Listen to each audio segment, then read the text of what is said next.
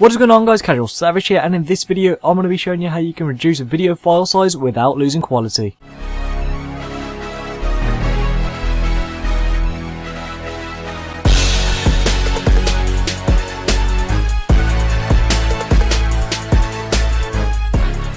Okay, so for this, we are going to be using a program called Handbrake. Now, Handbrake is a really good program. I used it for the first time last week, and it worked amazing.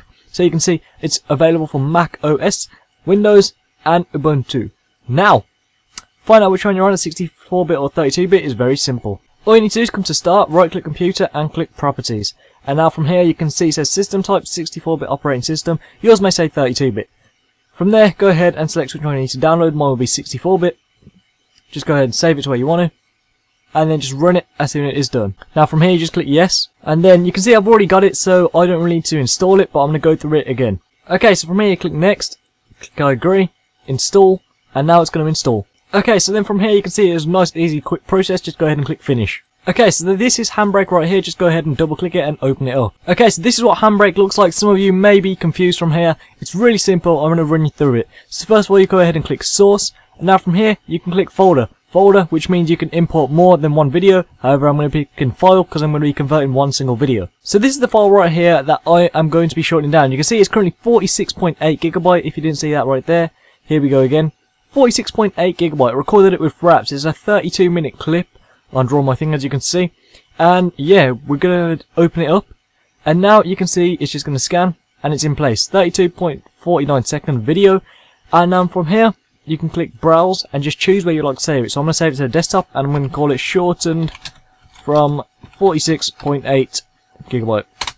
So it's going to save to desktop named as that. From there, you can see it only can output as an MKV or an MP4. MKV is a big no, 100% MP4. Then from there, go ahead and check web optimized. And now from here, come to audio, click the bitrate and change that to 128. Then from there, you're all set to go. All you need to do is just go ahead and click start. Now, this can take some time. Obviously, the video is 32 minutes, so mine's going to take around 20 minutes. You can see at the bottom left here, it'll tell you an estimated time remaining. So you can see about 22 minutes. So I did do this the other day with a video that was about 46 gigabyte again, and you can see right here, this is the final product. So it's 40 gigabyte. Well, this is, it was actually about 55 gigabyte. This is a 39 minute video recorded with Fraps again. It is a 2.13 gigabyte file. If I open it up, I'll show you that there is actually no quality difference. I uploaded the video to YouTube, and you can see, tell me the difference that you see. It lowered at least 50 gigabyte of footage, and this is the outcome we get. There is literally no difference. So this is what you expect to get, no quality difference, 100% good quality, and a shorter video file.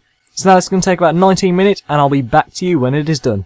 Okay, so as you can see, it has finished. It did take about 20 minutes. Now we'll go ahead and check it out. So you can close out of it once it is complete. And this is it right here. So remember, it was 46.8 gigabyte. We're going to right click it. We're going to click properties. 862 megabyte. 862 megabyte. What a difference. Here's the original video right here. Just right click this.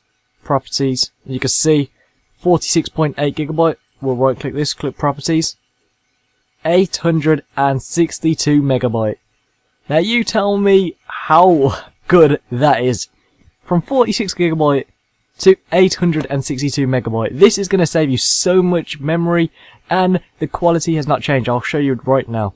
So first of all, I'm going to open up the one that has not been edited, the normal 46 gigabyte one. And you can see this is it right here. So play a little bit of it play about 10 seconds of this and you'll just see. So there we go, that is the 46 gigabyte one. Now we'll go to the shortened one and just look at this. What difference do you see? No difference at all. It is actually amazing.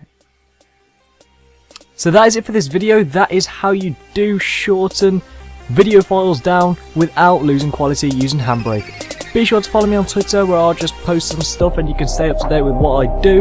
Also be sure to go ahead and check out my gaming channel. Click both of them on the screen right now and you'll be redirected to them. Anyway, that is it for this video. Thank you so much for watching. Please subscribe, rate, and peace.